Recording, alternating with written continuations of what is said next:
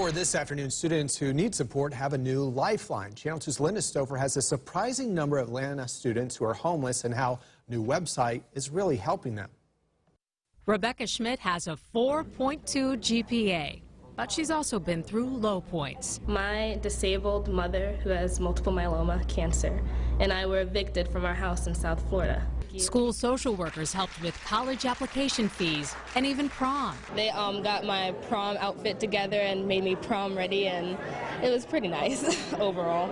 Other children need backpacks, school supplies, coats, of course, uh, shoes, um, uh, heaters. A new website, Purposity, is now wirelessly connecting people who want to help. At a sign-up session, Superintendent Maria Carstarphen said 1,800 Atlanta students are homeless. More than 77% of our 52 plus thousand students actually qualify for free and reduced lunch. When you log onto the website, you can see a list of what's needed. Here, a teenage girl needs a hair dryer. Someone else might need blankets or books. The company says it takes about two minutes to go through the process, and the student will have your help in two days. You actually go to Amazon, you check out through Amazon, and it's shipped to them. No money touches our hands at all. And we live in a day where we can do a doctor's appointment from our cell phone, but we have no idea if somebody two doors down from us has food to eat or clothes to wear. Schmidt is now officially valedictorian at Maynard Jackson High School with a message to students who struggle. You might have negativity around you,